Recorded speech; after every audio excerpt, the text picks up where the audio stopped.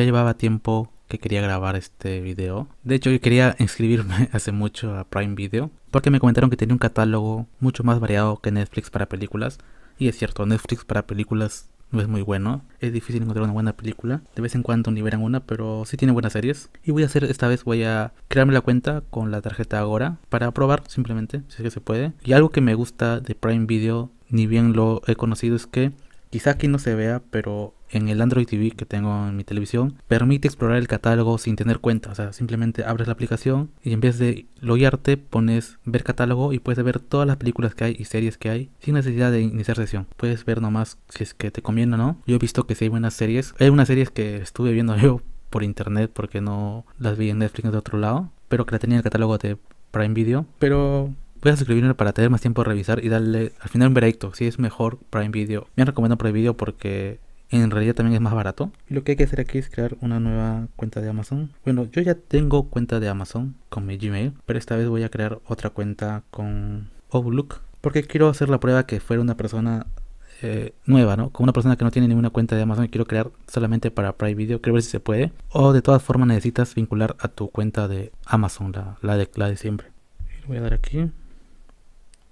Esto me crearía una clave, pero tengo que traer a mi Outlook y entré a mi cuenta de Outlook. De navegador rápido. Aquí está la clave. Copio. Voy aquí. Está cargando. Y se creó la cuenta. Al inicio Prime Video te da me parece que 7 días gratis. Y luego de ahí te empieza a cobrar lo cual es muy poco comparado a, a Netflix te da un mes me parece. Como les decía aquí puedo poner descubrir videos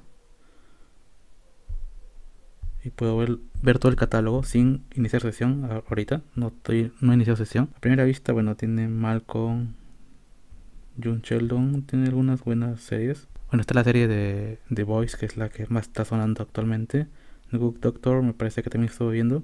Muchas de las series yo las veía por internet, en páginas que las republican, pero es interesante poder verlas directamente desde la aplicación. La pregunta es cómo hago para suscribirme ahora. Vamos a ver, voy a dar una, por ejemplo, aquí. Ya me manda a suscribirme. Está a 20 soles al mes. Recuerdo que me pareció que estaba antes 16 y ya subió de precio. Pero yo no quiero suscribirme con iTunes Store. Quiero con tarjeta ahora. Sí que me parece que no me va a dejar hacerlo. Voy a hacerlo de la computadora para ver qué, qué tal va. Bueno, aquí desde la web me sale que está a 16 soles. Es lo que había visto antes. No sé por qué con la cuenta de Apple me cobra 19.90, pero vamos a entrar con la cuenta que acabo de crear. Parece que sí es la cuenta de Amazon general. Tiene pinta de ser una cuenta genérica de Amazon. Y pongo, bueno, aquí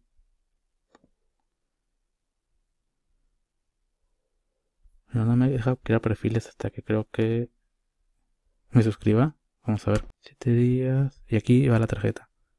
Curioso, en la aplicación no me deja poner tarjeta, solo me deja pagar con Apple iStore. Como dice acá, la tarjeta debe haberse emitido desde Perú. Porque estoy usando la oferta en soles. Así que lo que voy a hacer aquí es... Ya, aquí entra la aplicación ahora y voy a poner la tarjeta de...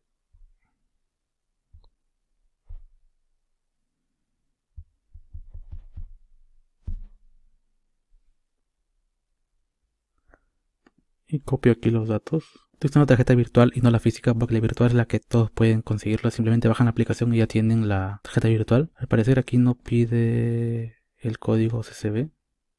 Curioso. Y vamos a poner ahí tarjeta. Bueno, aquí hay que poner una dirección. Nombre, dirección, ciudad, provincia, código postal. Te prepago los datos. Continuar. Vamos a ver qué pasa. Parece que la aceptó. Comienza tu periodo de prueba. Quiero ver en la app qué pasó. App aún no se ha hecho ningún cobro. Parece que ya me aceptó. Aquí no veo que se haya hecho ningún cobro. Usualmente cuando vinculas una tarjeta se hace un cobro. Pero parece que ya está aquí. Voy a poner esta película para simplemente probar.